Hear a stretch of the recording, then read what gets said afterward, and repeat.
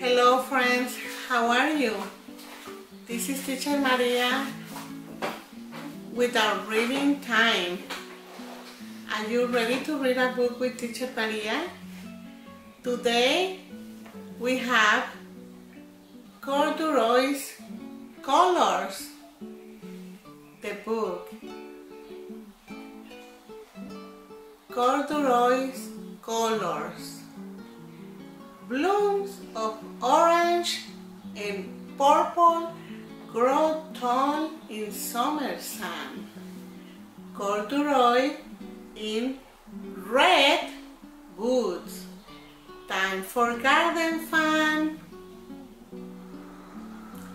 A rake, a hoe, a shovel, a bucket, and a cap.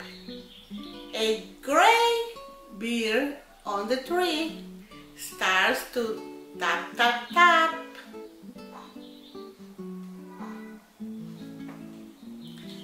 A kindly caterpillar, tiny, plump, and green, inches right on by, never to be seen.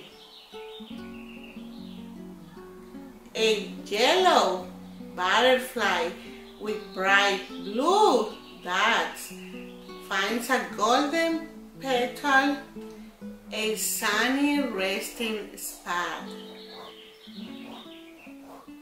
A shiny black beetle flies high into the sky. A gentle breeze begins to blow Corduroy waves bye-bye. The end.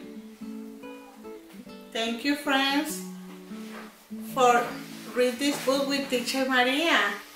I'll see you soon.